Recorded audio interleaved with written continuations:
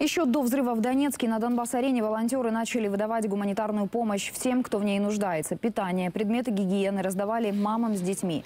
А в зоне АТО сейчас проживают 40 тысяч детей до двух лет. По инициативе Рената Ахметова было решено помочь всем семьям, где есть малыши. Гуманитарный штаб уже доставил им 10 тысяч наборов. А в футбольном клубе «Шахтер» заверили, раздача помощи продолжится, несмотря ни на что.